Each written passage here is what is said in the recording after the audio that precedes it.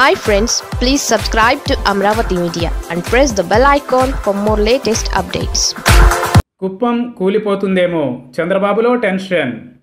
Telugu Desam party అధినేత చంద్రబాబుకు అసలు విషయం తెలిసి వచ్చింది. కుప్పం నియోజకవర్గంపై ఆయన ప్రధానంగా దృష్టి పెట్టాల్సిన పరిస్థితి ఏర్పడింది. లేకుంటే వచ్చే ఎన్నికల నాటికి రివర్స్ అవుతుందన్న దిగులు పట్టుకుంది. అందుకే చంద్రబాబు నాయుడు తరచూ కుప్పం నియోజకవర్గ అభివృద్ధిపై సమీక్షిస్తున్నారు. తరచూ అక్కడి అధికారులు నేతలతో వీడియో కాన్ఫరెన్స్ ద్వారా మాట్లాడుతున్నారు. కరోనా వ్యాధి తీవ్రత ఎక్కువగా ఉండడంతో చంద్రబాబు కుప్పం నియోజకవర్గంలో పర్యటించలేకపోతున్నారు. అక్కడ పరిస్థితులను వైసీపీ తన గ్రిప్లోకి తెచ్చుకుంటోంది.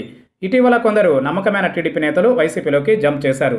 మరోవైపు అధికార పార్టీ అక్కడ అభివృద్ధి పనులను కూడా నిలిపివేయడంతో చంద్రబాబులో ఆందోళన మొదలైంది. దీంతో ఆయన తరచూ కుప్పం నియోజకవర్గం నేతలతో మాట్లాడాల్సిన పరిస్థితి వచ్చింది. నిజానికి కుప్పం నియోజకవర్గం చంద్రబాబుకు పెట్టని కోట. ఆయన ఏడు సార్లుగా అక్కడ నుంచి విజయం సాధిస్తూ వస్తున్నారు. పంతొమ్మిది వందల ఎనభై తొమ్మిది నుంచి రెండు వేల పంతొమ్మిది వరకు వరుసగా జరిగిన ఎన్నికల్లో చంద్రబాబుదే విజయం. ఫస్ట్ టైం చంద్రబాబు మొన్నటి ఎన్నికల్లో మెజారిటీ తగ్గింది. ఒక రౌండ్లో వెనుకబడిపోవడం విశేషం.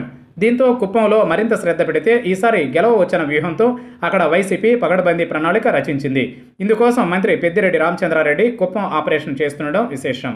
ఈ నేపథ్యంలోనే చంద్రబాబు ఇటీవల హంద్రీ నీవా ప్రాజెక్టు రెండవ దశలో భాగమైన కుప్పం కాలువల పురోగతిపై సమీక్షించారు. ప్రభుత్వం కాలువ పనులను ఆపేసిందని ఆరోపించారు. తొంభై శాతం పనులను తమ ప్రభుత్వం పూర్తి చేస్తే పది శాతం పనులను ఈ ప్రభుత్వం పూర్తి చేయకుండా పక్కన పెట్టేసిందని ఆయన ఆరోపించారు. దీనిపై స్థానిక నేతల చేత ఆందోళన చేయించాలన్న ఆలోచనలో చంద్రబాబు ఉన్నారు. గతంలో ఆయన ముఖ్యమంత్రి ప్రతిపక్ష నేతగా ఉన్నప్పుడు ఎప్పుడూ కుప్పం గురించి ఆలోచించలేదు.